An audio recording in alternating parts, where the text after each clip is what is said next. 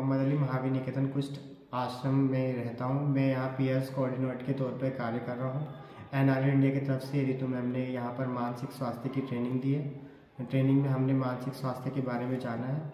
Training से पहले यहाँ के कुछ लोग आपस में बात नहीं करते थे, जिन्हें हमें पता लगा कि ट्रेनिंग के दौरान ये एक मानसिक अवसाद की स्थिति होती है।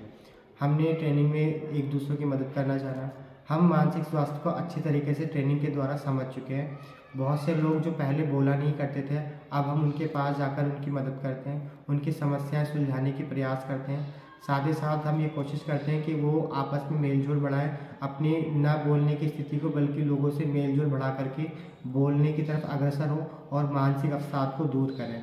हम पूरी कोशिश करते हैं कि यहाँ के लोग मानसिक अवसाद को दूर करके अपनी पहले जैसी बेहतर ज़िंदगी को, अपनी ज़िंदगी को और बेहतर करें।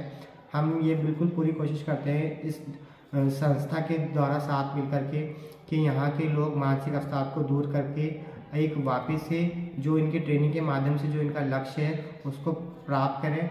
हम ये पूरी कोशिश करते हैं कि यहाँ के जो कुछ लोग थे जो पहले ट्रेनिंग से पहले नहीं बोला करते थे, लेकिन हमने ट्रेनिंग के दौरान और ट्रेनिंग के बाद ही उनके स्वास्थ्य में सुधार देखा है।